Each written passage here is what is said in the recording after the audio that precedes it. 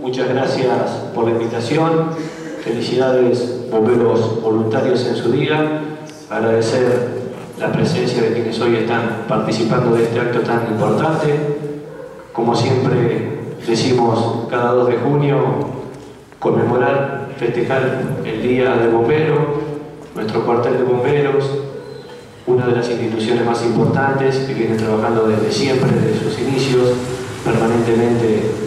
colaborando en cada una de las acciones que se nos requieren. Tenemos siempre los sancarlinos y quienes viven dentro de la zona de influencia de contar con la tranquilidad que ante cualquier accidente o siniestro tenemos la presencia de los bomberos voluntarios. Desde el municipio felicitarlos, invitarlos a, a seguir trabajando desde el municipio colaborando, aportando permanentemente para el crecimiento de la institución, no solamente de esta, sino de todas las que conforman nuestra ciudad. Bomberos voluntarios, muchísimas gracias por todo y feliz